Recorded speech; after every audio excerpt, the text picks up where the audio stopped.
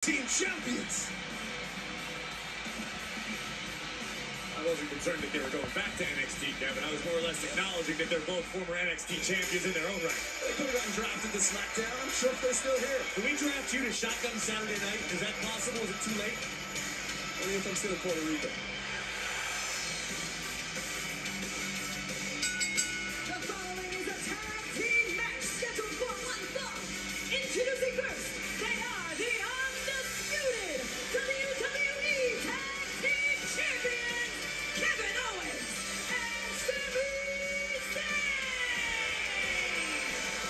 What have Imperium got coming their way on their Monday Night Raw debut?